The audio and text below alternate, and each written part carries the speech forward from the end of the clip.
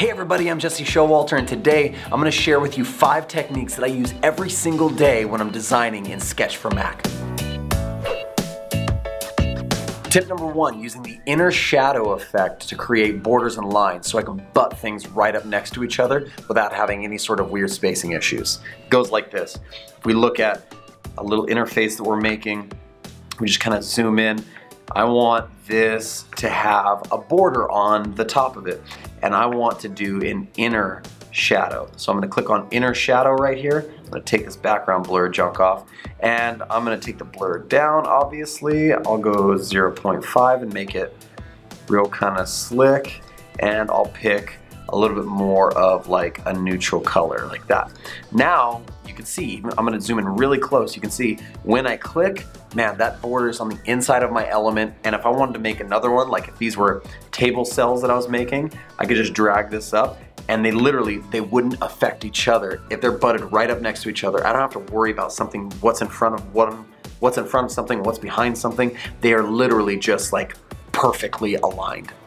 Tip number two is reducing the file size of your project. As you start creating projects in Sketch, the awesomeness of artboards is like mind-blowing if you're not used to it. Like creating huge projects with artboards like this, like 10, 20, 30, 40, 50 artboards, and, and your projects can start slowing down, especially if you're using imagery inside of your project. So a good thing to do is the built-in tool in Sketch is to go up to File and just hit Reduce File Size, let it do its magic, and, and sometimes it'll just be a couple kilobytes, sometimes it'll be megabytes, sometimes it might be even more, and you just want to continually, as you pull in those images, reduce file size. There's no sort of loss of image quality, nothing like that. It, it, literally affects the look of your project zero, but it speed, keeps your project files quicker and speedier and it keeps Sketch moving fast.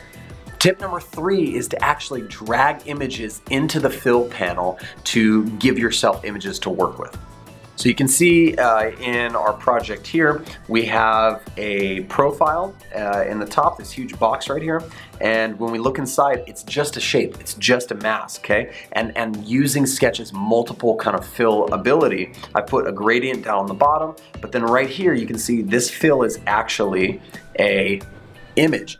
The ability to literally just open up the fill panel like this, go to whatever folder you have an image and drag it right in and drop it, Bam! That's amazing. Having that kind of control over images in your project is awesome. Tip number four, using the command key to find the exact center between two points when you're in edit mode. Here's what I mean. If we zoom into a shape, you can see we have this little box. It is actually a rectangle shape that's been filled with a gradient. But let's say I don't want it to actually be a rectangle anymore, a rounded rectangle. I want it to be like a diamond okay? Um, I can hit enter on the shape and I turn into edit mode, which gives me all the points of the edges. And you can see if I drag my mouse or the cursor over the line of each side, I get a little pen tool kind of with, with the plus. We want to add a point. I want the direct middle, okay, to, to these points. So I'm going to hold down the command key. And You can see as soon as I press the command key, it's going to find the middle point between the two points. And I can just click there and click there and now I can be really precise. I can just arrow up one, two, three, four, five times, and I can arrow this down one, two, three, four, five times, okay? And now we have a perfect shape, and I found the exact middle using just the command key. Boom! Tip number five, nesting symbols. I've done an entire video on how to nest symbols and the power of nesting symbols and all that good stuff. And so you can see that video right here. But if you're interested in nesting symbols, here's a little sample. When I'm looking at my project and I have multiple different pieces to this project, okay, you can see right here, let's zoom in on it. You can see that uh, each one of these little boxes has a couple elements inside of it. It has a title and it has the box itself and it has an icon. Well, I've already made symbols out of each of the icons. Then what I've done is I've gone ahead and I've made a symbol out of the box itself. So now this box is a symbol and inside of it there's another symbol of the icon itself. So now you can see when I do that, if if within your nested symbol, let's just drill down on this real quick.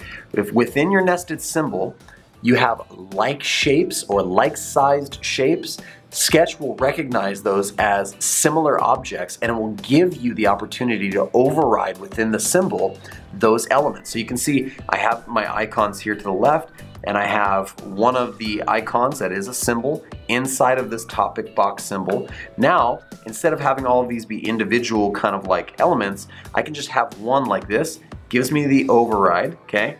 To say, okay, we don't want to say favorites, we want to say hearts. Let's go back and fix our symbol and make sure that this is center aligned and center there. And now it'll be perfect out here, okay? See how awesome that is? And then it also gives us the override for the symbols. So we can change it to the stat symbol or back to the heart symbol. Now what we can do is, let's, let's get rid of all of this garbage.